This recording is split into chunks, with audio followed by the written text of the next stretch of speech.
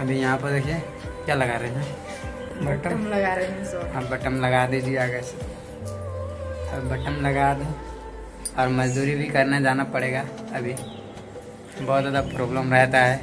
कोई सपोर्ट भी नहीं करता है। छोड़ दीजिए ना।